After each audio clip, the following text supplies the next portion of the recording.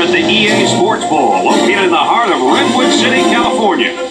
Horrible weather conditions, cold and rainy for today's game between the All-Americans and the Mississippi Valley State Delta Devils. And here come the Delta Devils.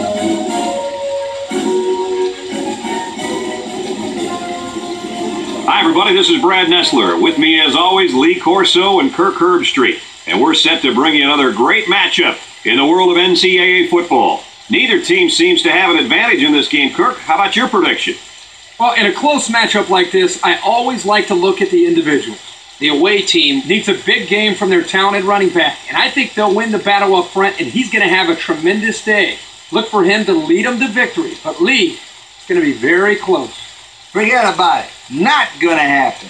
The away team has some question marks on their defensive line. Uh oh, not good when you're facing one of the most productive rushing teams in all of college football. I see them losing this game because of their inability to stop the running game. Well, thanks, guys, and it looks like we're ready for the coin toss.